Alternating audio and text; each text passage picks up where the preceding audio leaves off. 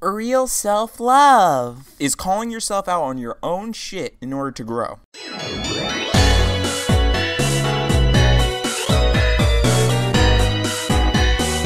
Oh my god, why can't we allow women's bodies to just be? When we look at photos of fit moms, we should see misogyny, not a virtuous self misogyny about talking about how a person who is pregnant is, you know, still working out and moving, which is healthy. You shouldn't just be sitting around. But you understand there's a there's a real big difference between someone who is uh, pregnant and someone who is obese. Just because she has a big belly doesn't mean she's obese like you, Karen. Health has no place in body positive. Oh my god. Oh no! What? They actually said it. They it took over 12 different episodes of Fat Logic for them to finally say that within body positivity, you guys are completely ignoring health. Oh my god. Is it Christmas already? I want women to take up their space regardless of their size. I want them to roar with the ferocity of a lioness, and I want them to feel like they can finally breathe. But this can only happen when we start to remove the corset of society that is crushing our ribs. I am part of the revolution. I refuse to be a part of the fucking problem anymore. Hashtag fuck flattering, and also hashtag she's a goddamn beautiful mermaid. Somebody wrote this. Somebody sat down at their desk, opened up their Mac laptop, and typed this onto the internet. I want women to take up their space regardless of their size. It's funny, because you guys can't fit anywhere. The ultimate slimming effect, soft touch maximum recovery, all in one. You know what's extremely not cool? Plus size pants that are like, We'll promise to slim you and we'll provide maximum recovery. from my own body? Hey, anyone? Your body is great. Don't be insulted by pants. Literally, anytime I think that they're gonna run out of things to complain about, there's always something new. Okay, so now they're talking about how pants are attempting to make you guys look better. You realize when you're obese, your skin and uh, fat is a little bit in, uh, uneven. So you have rolls. These pants try to squish those rolls into a smoother form, like how you form Play-Doh. Uh, and you're mad at the pants for doing that, so you want to walk in skin-tight jeans filled with rolls, so you look like a goddamn children's toy. It's time to talk about thin privilege. It really isn't, though, to be honest. I'm so tired of the thin privilege argument because really it's just fat people being upset that I'm able to do something that they can't. My boyfriend's parents' cat is that large. She's been taken to the vet regarding her weight, and they say she's completely healthy. She even eats the recommended amount. She's just fat. Oh lord, could you imagine comparing your body physiology to another species? You realize, I don't know what vet they're talking to, because fat cats and fat dogs are just not healthy. They'll, you'll ruin their spine and bones and joints, but whatever. You realize you're comparing your body type to another species body type. I don't understand the, uh, what's similar? Uh, I'm confuzzled. This might sound way dumb, but I'm feeling a small victory over diet culture. I didn't measure out my salad dressing today. Hashtag small victory. Um. Guys. This bitch.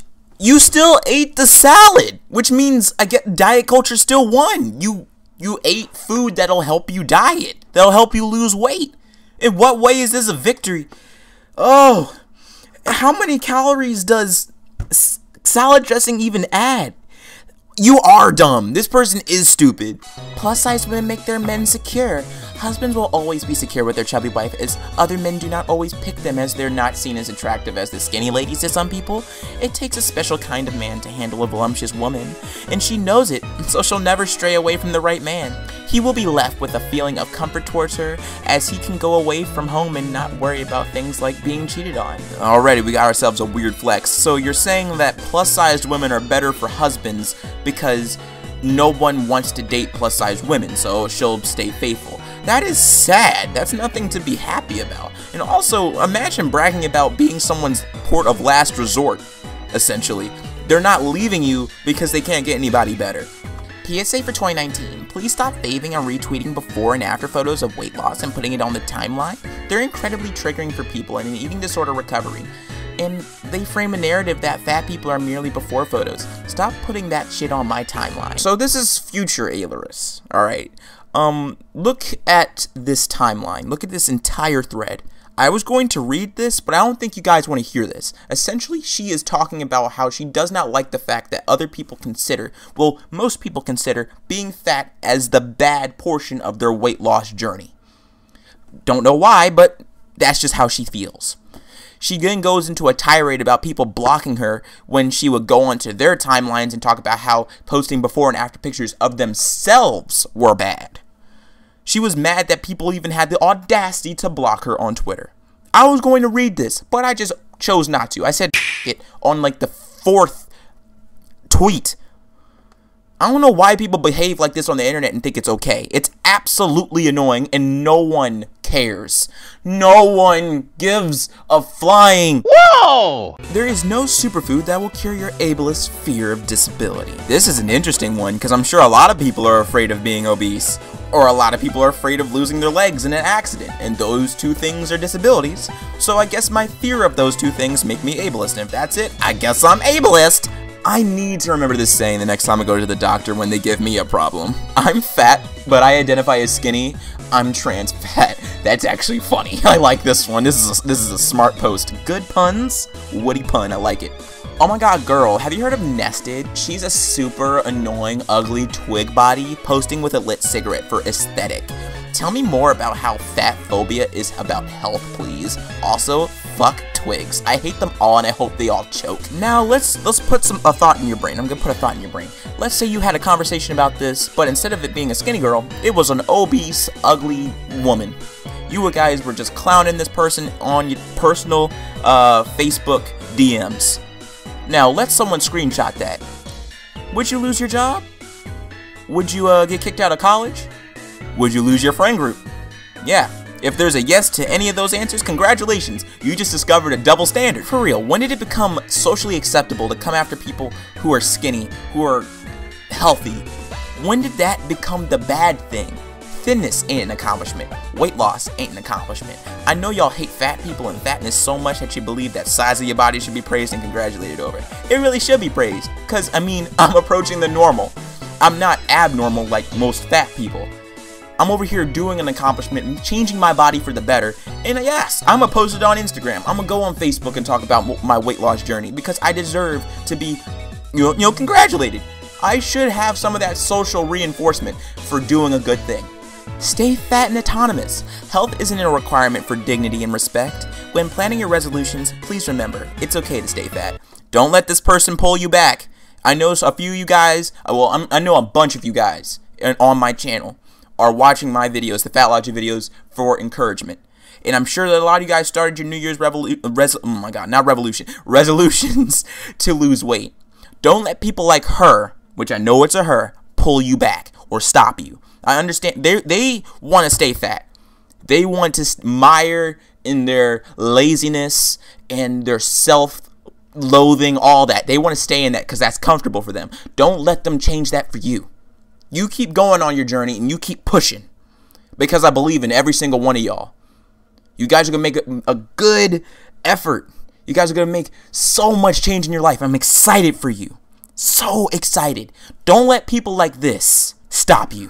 Once you understand the extent of magical thinking that tends to be tied into the fantasy of thinness, you can understand how threatening it is to consider the idea that you may never get the thin body you crave. Linda Bacon. Isn't it funny that a Fat Logic comment is coming from someone whose last name is Bacon? I'm just gonna point that out. That completely, that completely takes away the credit of this statement. Also, it's crazy. It's absolutely crazy. It's uh, it's saying that it's magical to lose weight, but whatever. Just the fact that it, the, the quote is coming from someone whose last name is Bacon takes all the credibility away. That's not. That's it. Mm. Thin Love is telling fats that they ain't not gonna live past a certain age like they know. Also, what age is it? Because one second is 40, next is 50. there are fat people alive and well over 40 years old. And it's funny to see y'all believe thinness somehow saves you from death. You understand that there are individuals who are 60, 70, 80 years old who are obese. but are they living their best life? Yeah, I'm gonna let y'all answer that question. Is it better to live life at a healthy weight at such an extreme age compared to someone who's living at the same age but also suffering from joint pain, um, muscle spasms, probably loss in feeling in their extremities because they are obese or suffering with diabetes? Food for thought. New Levi's Sculpt Weight Leggings. Shop now. Oh my god, don't put the smaller girl front and center. Even when a company tries to be diverse, it's never enough for these people. Wh- Who do you want in the center? The biggest girl who can't fit? You're not being fat positive. Being fat doesn't mean you're not healthy. That's fat phobic. Hope Reddit bans this bigot. Probably a white male too. Huh, Nazi. and then she realized she got three downvotes and then said, That's literally what it means. You want it. Like, oh my god. She gets so upset when her ideology gets challenged. Whenever you feel like you hate your body and want to try to fix it, remember, there are people making money off your insecurities. You know what? I understand where this one's coming from because, you know, fit tea and uh, diet tea, stuff like that, will not do anything for you. They are kind of, you know, feeding off of that scare of, oh my gosh, I'm trying to lose weight really, really fast. I understand that. Although, dieting isn't an insecurity. Individuals, well, actually, you know what? I'm going to say it is an insecurity. You're insecure about your body because you know it's bad and you want to change it. And some companies will exploit that. So this is correct. But are they wrong in promoting something that will ultimately make you feel better? Because you're only feeling insecure because you know that your body type is bad. So make it better. Lose the weight. You are fat phobic if you believe that it's the fat person's fault for being fat. Excuse me, uh, the, uh, the fuck did you just say? Maybe eating biscuits and gravy was cheating on my diet, but maybe going on my diet was cheating on my biscuits and gravy. This is funny. I like this one. I pretty much see anybody who's disciplined with food as a big red flag. Oh wow, who knew that having a principled mind and a little bit of constitution was a red flag? Girl, it's not your body that's wrong, it's the world that's wrong. Yo, this is literally the talking points of any fat activist. This is probably the motto of the fat logic lifestyle. It's everybody else's issue and problem, and that's why I'm fat. This is really important. Read it out a few times. Health is not an obligation. You're right. You're not obligated to help yourself. You're just not. We can't force you to go to the hospital, but you really should if you want to live longer than 50. It hurts seeing skinny girls with no personality get into serious relationships when I'm modest, smart, and fun to be around, but I can't find one guy to love me just because I'm bigger. You're the type of person to say that no one dates you because you're full figured or you're voluptuous, right? Or maybe because you're a little too thick. Yeah, whatever. No one finds your obesity beautiful. Nobody. And also, how are you so smart and fun when you literally call your skinny friends or skinny girls um, not like have no personality or just have lacking personality. Yeah, you're a fun person to be around. You're nice. But yeah, your biggest issue is your weight because no one finds that attractive. Actually, a lot of people find it quite disgusting and ugly, like yours truly. Being fat improves physical intimacy by making you more cuddly. Oh god, I never want to see ever again a picture of fat Trixie Tang. Oh lord. Hey, what's up everybody? I hope you enjoyed the video today, and if you did, let me know in the comments down below, and leave a like if you liked the video. If you're new to my channel, go ahead and subscribe, fam, so you can see the rest of my content and my future content. And this is a big message to everyone who is subscribed, past and future. Please make sure to uh, hit that notification bell so you can get my content on time. That's been an issue recently, and I know I'm trying to solve that. I know you guys subscribe for that content, so I'm sure you want to see it. So make sure you want to hit that bell. Also, this is the first video for the Saturday schedule, so now I have Sundays and Saturdays that are good for Reddit videos or something else that you guys want to see, so be prepared for those notifications. And as always, thank you to my Patreon supporters. That is Nora, Pro Cookie, Tattooey, Catherine, Simon Possum, and Annie. Thank you so much for your support. It is greatly appreciated. Oh yeah, and as always, stay zesty.